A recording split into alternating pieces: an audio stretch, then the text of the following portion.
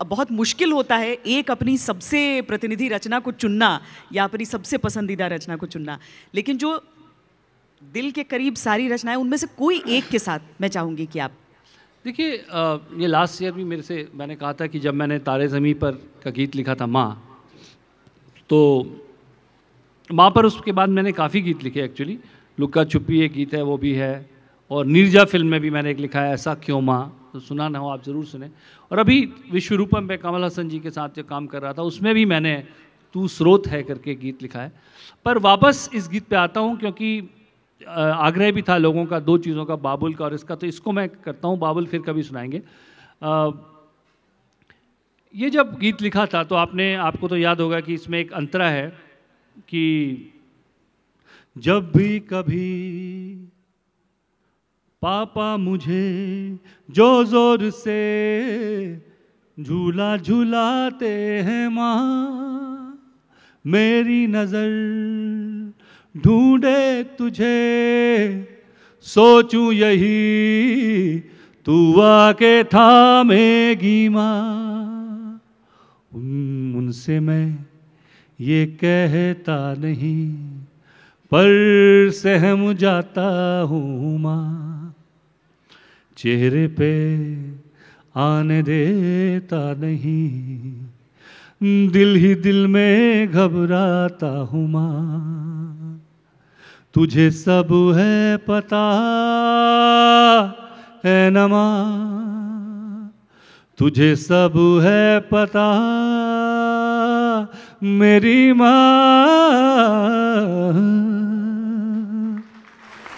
अब ये इस पर मुझे काफ़ी पत्र आते थे कि हम बाप लोग इतने बुरे नहीं होते।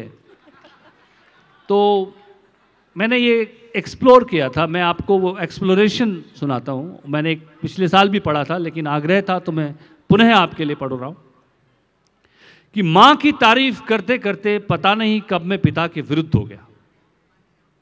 माँ की तारीफ़ करते करते पता नहीं कब मैं पिता के विरुद्ध हो गया। पिता के विरुद्ध कभी मैंने कुछ नहीं कहा। पर माँ की तारीफ़ में पिता के प्रति नाराज़गी खुद ब खुद आ जाती है शायद। या पिता का दोष पिता होना है, या पुरुष होना, या समर्थ होना। मैं पिता के सामने ढीठ हूँ, माँ के सामने शैतान मैं पिता के सामने चट्टान हूँ, माँ के सामने नदी। मैं माँ के लिए छुप जाता हूँ और पिता से छुपता हूँ। मैं माँ के लिए छुप जाता हूँ और पिता से छुपता हूँ।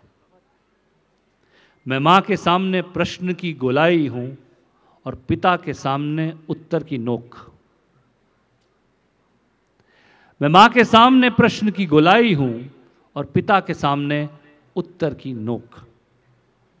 मैं माँ की गोद में समा जाता हूँ और पिता की गोद में तन कर बैठता हूँ। माँ के अचार के बोयाम अगर धूप से जुदा होते हैं तो मैं उन्हें धूप में सरका देता हूँ। पर पिता की फाइलों से गिरते कागजों पर मुझे कभी तरस नहीं आया। मैंने कई बार सोचा है पिता से लंबा होने के बारे में, पर माँ से अपनी लंबाई कभी नहीं नापी। मैंने माँ के बाल भी खींचे हैं कई बार झुंझला कर चीखा हूँ माँ पर पटके हैं पैर पर पिता के सामने खुद को नाप तोल कर पेश किया है। क्या मैं विद्रोह करता रहा हूँ पिता की सत्ता के खिलाफ? क्या माँ का प्रजा होना उसे मेरे, करीब लाता है? क्या मैं ऐसा ही करता अगर माँ की सत्ता होती? क्या तब भी मैं उसे इसी तरह प्रेम करता? या उसकी शक्ति सामने खड़ी होती और मैं फाइलों से कागज़ समेट रहा होता।